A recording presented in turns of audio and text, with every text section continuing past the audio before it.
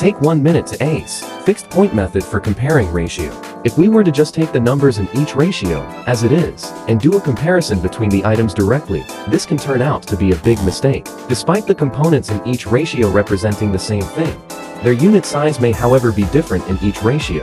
The fixed point method is the most commonly used technique to make ratios comparable. It relies on first identifying a component which exists in two or more ratios and remained unchanged over time. This component is also known as the fixed point, which we can equalize all the ratios through it.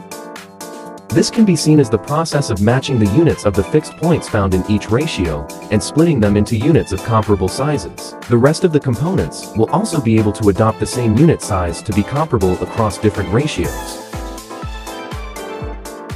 That's all for now. Subscribe to our YouTube channel and follow us on social media for more topics, and take one minute to ace them.